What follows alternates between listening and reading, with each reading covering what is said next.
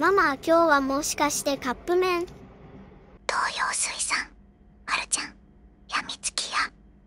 千式汁なし担々麺2024年10月7日新発売なのださあ、今夜も始まりました。深夜にカップ麺を食べるだけのやべえ番組、カップ麺大図鑑チャンネルの時間でございます。やみつき屋は、その名の通り、味濃い麺をテーマに、一度食べたら止まらなくなる、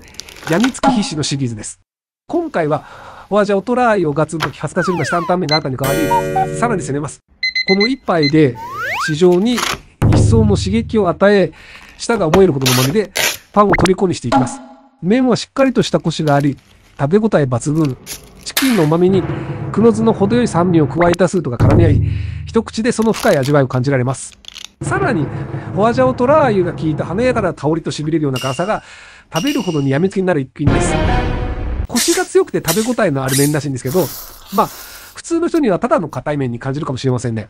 で、チキンの旨味に黒酢の酸味を合わせたスープがよく絡むとか言ってますけど、酸っぱいスープにチキン入れたってことですよね。さらにホアジャオトラー油で、華やかな風味とか痺れる辛さとか言ってますけど、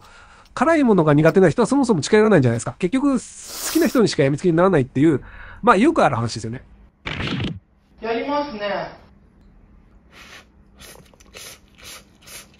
ごちそうさま。